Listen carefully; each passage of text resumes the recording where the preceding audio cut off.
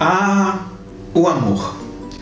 Já faz um bom tempo que personagens LGBTs em novelas, em séries, não estão ali só para ser alvo de piada, só para ser um personagem de humor ou para ser uma história triste. LGBTs têm todo tipo de história em todo tipo de série, e isso inclui sim histórias românticas.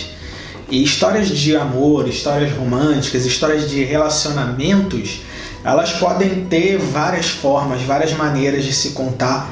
E isso só fica mais rico quando a gente traz mais diversidade para o que a gente está contando.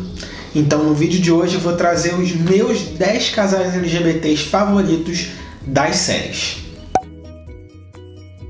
Olá, meu nome é Renan Wilbert, seja muito bem-vinda, muito bem-vindo ao meu canal. Se é seu primeiro vídeo por aqui, não deixa de se inscrever no botãozinho aqui embaixo e de ativar o sininho para receber notificação sempre que tiver vídeo novo. Não deixa também de deixar seu like no vídeo, isso faz o YouTube mostrar esse vídeo para muito mais gente, fazer a nossa comunidade crescer cada vez mais.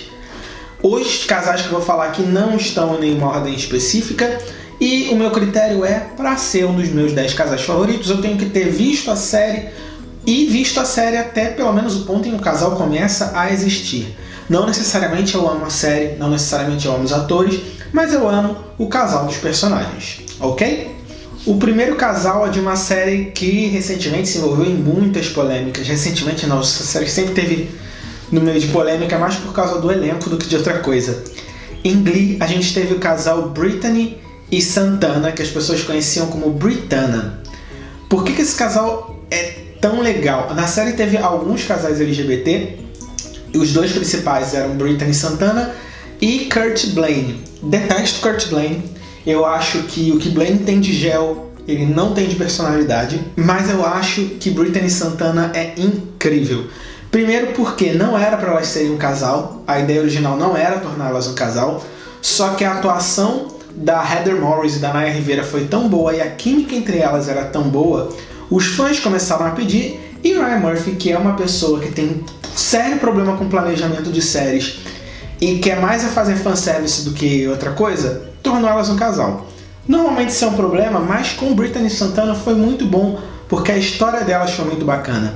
Desde a parte da Santana se assumindo como lésbica, se permitindo sentir o amor pela Britney, até a questão da Britney se entender como uma mulher bissexual. E aí elas ficaram juntas, aí depois a Santana vai para a faculdade e elas terminam numa decisão bastante madura. E então depois elas voltam, elas acabam se casando e tem toda a questão da homofobia da avó da Santana. É um casal muito bacana. Eu acho muito legal o fato delas só terem começado o relacionamento de verdade quando as duas estavam prontas para isso. Acho muito legal mostrar um casal entre uma mulher lésbica e uma mulher bissexual.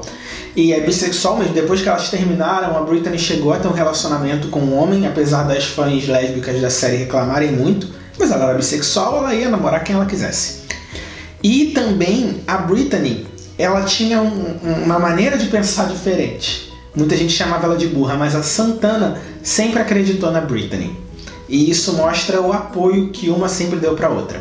Segundo casal, Robert e Saul de Grace Frank, que é uma série muito delicinha da Netflix e ano que vem vai ter a última temporada, se tudo isso passar e eles conseguirem terminar as gravações. O plot da série, apesar de se chamar Grace Frank, só começa por causa deles. O Robert era casado com a Grace e o Saul era casado com a Frank, e eles sempre tiveram um caso. A partir do momento que o casamento LGBT foi permitido nos Estados Unidos, eles se divorciaram e se casaram. Isso fez a Grace e a Frank começarem a se ver mais e eventualmente se tornarem amigas. Então eles, esse casal dá o pontapé inicial da série. E eles são um casal de terceira idade, eles falam de sexualidade na terceira idade, de ter vivido a vida no armário. São assuntos que a gente não costuma ver porque normalmente os casais LGBT são casais de pessoas mais jovens. Eles trazem toda a questão da vida da terceira idade, da sexualidade na terceira idade, como eu falei, e da homossexualidade na terceira idade. Isso é bem interessante, junto com o fato de eles terem filhos, de eles ainda terem contato com as ex-mulheres. É um casal com algo muito rico e muito difícil da gente encontrar na série, por isso que eu gosto tanto dos dois. O terceiro casal é das antigas, Michael e Ben, de Queer as Folk É uma série lá do início dos anos 2000 com algumas problemáticas. Eu, fa eu falei num vídeo com o Marcel Nadales sobre essas problemáticas, mas é uma série que deu pontapé inicial para basicamente todas as séries LGBT que vieram depois. O Ben ele entra na segunda temporada já com um relacionamento ali com o Michael, ele conhece o Michael e logo eles começam a se relacionar. E tem toda a polêmica deles serem um casal soro-discordante. O que é um casal soro-discordante? É que um, no caso Ben, é soropositivo, ele tem HIV, e outro, que é o Michael, não tem. Tem uma discussão inteira na série, o preconceito que eles sofrem, a resistência da família do Michael, que não tem HIV, que tem medo dele contrair o vírus. E como eles superam toda essa questão, inclusive o Michael precisa superar essa questão, e eles se tornam um casal muito sólido para a série. Eu acho muito legal as diferenças entre eles, que o Michael é muito voltado para a cultura pop, enquanto o Ben é voltado para a cultura acadêmica. Eles também mostram uma questão da adoção tardia. Eles adotam um garoto já adolescente que tem HIV e é até interessante porque o garoto é hétero. E tem um episódio que eles descobrem que o garoto é hétero, que é muito engraçado. O mais especial de tudo é que o amor pelo Ben faz o Michael finalmente desapegar da paixão tóxica que ele sentia pelo Brian, que era o melhor amigo dele. Ele passa basicamente a primeira temporada e metade da segunda apaixonado pelo Brian, e quando o relacionamento com o Ben fica mais sério, ele tem um episódio em que ele reflete muito sobre isso, até ele entender que ele tem que desapegar do Brian mesmo desapega romanticamente, porque continua numa amizade ali bem cheia de probleminha. Quarto casal é muito fofo, Lena e Steph, da série The Fosters, Família Adotiva. É uma série da ABC, é uma série sobre bem família, dos filhos, adolescentes, os filhos fazem merda, aí é série sobre as merdas que os filhos fazem, as coisas que os filhos se engajam, que essas mães se engajam. É um casal de etnias diferentes. A Steph, ela é uma mulher branca e a Lena, ela é uma mulher de mãe negra e pai branco, e aí tem toda essa questão nos Estados Unidos, por ela ser uma mulher negra de pele clara, aí ela tem discussões com a mãe, que é uma mulher negra retinta. As duas se casam e adotam quatro filhos. A Steph já foi casada, ela tinha um filho biológico do primeiro casamento, e aí eles adotam um casal de, de gêmeos latinos, e depois dois irmãos, a Kelly e o irmão da Kelly. E a adoção desses dois últimos é uma adoção também tardia, né? A gente chama de adoção tardia a adoção de crianças ou adolescentes já crescidos, não de bebês, que é uma coisa mais rara de se ver. Elas também têm um estilo de educação que eu acho muito bonito, que é educar os filhos se baseando no diálogo. A gente quase não vê elas gritando. É, bater nos filhos é totalmente fora de questão. É sempre com muita conversa, é muito bonita a relação que elas constroem de diálogo dentro dessa família. E as duas são muito engajadas politicamente. A série ela vai passando durante as temporadas por diversos temas, desde violência, do sistema de lares adotivos dos Estados Unidos, educação pública e privada, e elas vão se engajando nessa questão. É muito legal ver como elas juntas fazem não só pelos filhos, mas por toda a comunidade delas. Quinto casal, eu acho que é o meu favorito da lista: Garnet. Você que não conhece Steven Universo, sim, eu falei um nome só. Porque a Garnet é a fusão de duas personagens que se amam muito, a Ruby e a Safira. Elas são o primeiro casal que teve um casamento LGBT em desenho animado. A Ruby e a Safira se casaram mais ou menos do meio para o fim da quinta temporada do desenho, em um episódio muito bonito. O legal de Ruby e Safira é que são duas personagens de classes sociais diferentes, elas são de outro planeta, em que a Safira ela é de uma classe mais alta, né, mais próxima da aristocracia, e a Ruby é um soldado. E elas acabam se conhecendo meio que por acidente e vão se apaixonando. E é muito bacana que conforme o tempo passa, elas vão aprendendo a respeitar as diferenças uma da outra, as individualidades uma da outra. E conforme a Safira vai tendo seus próprios interesses e a Ruby vai tendo seus próprios interesses, a Garnet vai ficando mais forte, mais coesa, mais completa e mais rica. Mas o mais especial da Garnet, na minha opinião, é que num desenho animado, um casal que se funde e quer ficar junto para sempre desconstrói totalmente a ideia de amor romântico, de amor à primeira vista, de que é fácil. A própria Garnet fala que amor precisa de tempo e precisa de muito trabalho.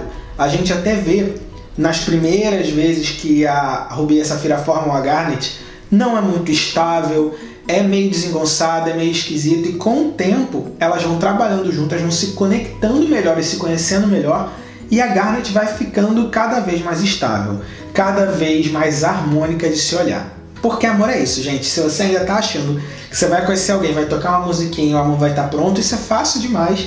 Você merece melhor do que isso. Sexto casal, Sid e Helena, de One Day at a Time. É muito. Eu adoro essa série, ela traz temas muito importantes. E é muito legal porque é um casal adolescente entre uma menina que se identifica como lésbica e uma pessoa não binária. Essas duas personagens são muito nerds, é muito bonito ver o romance delas crescendo e são muito voltadas para militância, especialmente a Helena. A Helena está sempre problematizando, às vezes a família brinca com isso, mas aos poucos a gente vai vendo no decorrer das temporadas que a família vai entendendo questões e vai absorvendo aos poucos. Apesar de rir da Helena, ela consegue plantar sementinhas na cabeça da família e, e isso vai fazendo a família se tornar mais tolerante, mais desconstruída.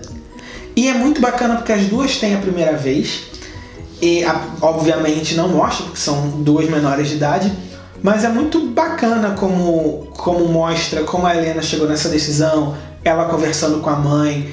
É muito legal a forma como a série tratou isso. As três primeiras temporadas são da Netflix, mas depois a Netflix cancelou e uma outra emissora nos Estados Unidos salvou a série, que está exibindo a temporada. Inclusive vai ter um episódio inteiro animado, feito com as dublagens em casa, por causa de tudo que está rolando no mundo.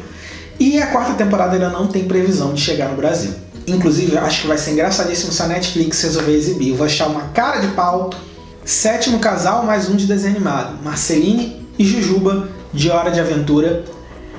É interessante, no início da série não fica claro que elas são um casal, tem uma animosidade ali entre as duas, mas aos poucos a gente vai entendendo que essa animosidade é porque elas foram um casal e terminaram. A Marceline é uma artista, ela toca guitarra, tem toda uma história ali por trás do passado dela. E a princesa Jujuba, ela é uma cientista, uma guerreira e uma governante. Ela terminou com a Marceline porque ela precisava cuidar do seu reino. Ela estava muito ocupada e ela sacrificou sua vida amorosa pelo seu reino. Conforme a série vai passando e elas vão se aproximando, aí tem a última batalha em que acontece uma coisa lá, uma das duas quase se machuca e elas finalmente no último episódio têm o primeiro beijo. E é muito bonito e depois dessa batalha final, as duas finalmente voltam a ficar juntas. Oitavo casal, Holt e Kevin, da série Brooklyn Nine-Nine. Eu amo essa série porque ela consegue trazer com humor várias questões. É uma série policial, mas ela não se priva de falar da violência policial contra pessoas negras, racismo policial, não se priva de falar de assédio, não se priva de falar de vários assuntos extremamente importantes. E aí, desde o primeiro episódio tem o Holt, que é o capitão, e ele é muito robótico, muito frio e o Kevin também. Eles são muito frios, então momentos como eles dando apertos de mão, eles falam uh, é, public displays of affection, né, demonstrações públicas de afeto, é muito engraçado, porque coisas que a gente considera normais para eles são além. Também é muito bacana como eles são um casal de meia idade que já está junto, já está estabelecido. O Kevin não é um personagem é fixo da série, ele é regular, ele aparece algumas vezes por temporada, o Holt que aparece o tempo todo. E é muito bacana como eles são o modelo de casal sólido para o Peralta, que é o protagonista da série, que é um cara hétero. Para ele, que teve uma família mais problemática com o abandono do pai e tem a relação lá dele mais complicada com a mãe, ver esses dois juntos, para ele é a relação que ele sempre quis ver. Ele encara o Holt como basicamente um pai. Ele chama o Holt de pai algumas vezes em atos falhos. E é muito bacana como o fato de serem dois homens não impede eles de serem um modelo para casamentos para o Peralta, que depois acaba se casando com a Amy. Nono casal, Nomi e Amanita de Sense8. A Amanita, apesar dela não ser um dos oito do Sense8, é muito bacana como ela tá envolvida na série, ela compra as brigas da Nomi a Noma é sempre muito aberta com ela desde o início. E eu acho que de todos os parceiros, de todos os senseits, ela é a que mais dá força. Tem o Lito e o Hernando, que também são casal gay nessa série, mas a Nome e a Manita são espetaculares. Elas trazem a questão de serem duas mulheres lésbicas, sendo que uma é cisgênero, a outra é transgênero. Tem até um episódio em que uma lésbica tenta atacar a Nome, dizendo que ela está tentando impor o pênis na comunidade lésbica e a Manita defende ela e isso faz a Nome ficar muito emocionada. A Nome chora muito nessa série. As duas correm muito perigo, a, apesar da Manita não estar tá necessariamente envolvida, ela escolhe correr esse perigo junto com a Nome, elas são parceiras, elas não questionam esse relacionamento. Eu lembrando aqui, acho que nunca teve um momento da série que as duas questionaram esse relacionamento. E a série termina com o casamento delas. Uma das últimas cenas da série, a última é uma grande suruba, mas uma das últimas cenas da série são as duas finalmente se casando, que coroa bem essa história, que é inclusive é criada por duas mulheres trans, as irmãs Wachowski, que também criaram Matrix. Inclusive uma das irmãs fez a sua transição de gênero durante a série. Décimo e último casal, Daryl e Josh Branco, da série Crazy Ex-Girlfriend. Crazy Ex-Girlfriend é uma série que eu gostei muito das primeiras temporadas, mas eu acho que a última temporada se levou a sério demais e meio que estragou a, a série. Mas tem esse casal na série. O Josh Branco é muito interessante porque tem outro Josh que é asiático e o Josh Branco que é gay. E aí perguntam por que, que não chamam Josh asiático de Josh asiático em vez de você de Josh branco? Ele fala, porque isso é racismo. E aí fala, por que, que se o outro Josh é hétero e você é gay, por que, que te chamam de Josh branco e não de Josh gay? Porque isso é homofobia. Então ele é o Josh branco. O Daryl é um homem divorciado que começa a se entender como bissexual. E isso fica bem claro que ele gosta de homens e gosta de mulheres. Ele tem uma música em que ele deixa isso bem claro. E ele é um homem de meia idade. E o Josh branco começa a se aproximar dele ele fica meio inseguro com isso, mas o Josh fala, cara, você é muito bonito e eu gosto de você, e eles começam a namorar, eles são um casal ótimo. Só que eles acabam terminando. E eles continuam amigos, e as pessoas começam a achar que eles na verdade ainda se gostam e que eles têm que voltar. Só que não, eles falam, não, a gente só se realmente se gosta como amigo, a gente não faz mais sentido como casal, e é isso. E aí eles depois começam a entender que eles são amigos, mas eles tem que evitar passar tanto tempo juntos para que eles consigam encontrar novos parceiros e parceiras. Outra coisa que eu acho muito bonita nesse casal é que desde o início até o final eles foram muito honestos sempre um com o outro. Então, apesar de eles serem coadjuvantes da série que vão ganhando destaque no decorrer da história, mas apesar de serem coadjuvantes, eu acho que eles são uma das histórias mais legais de Crazy Ex-Girlfriend. Me diz nos comentários que casal que eu não falei é dos seus favoritos e dos que eu falei, qual você gosta mais? Me conta aqui nos comentários. Muito obrigado por assistir esse vídeo até o final. Não deixa de mandar esse vídeo para seus amigos, suas amigas que gostam de ver séries, que gostam de casais LGBTs de séries. Não deixa de se inscrever no canal e a gente se vê no próximo vídeo. Tchau, tchau!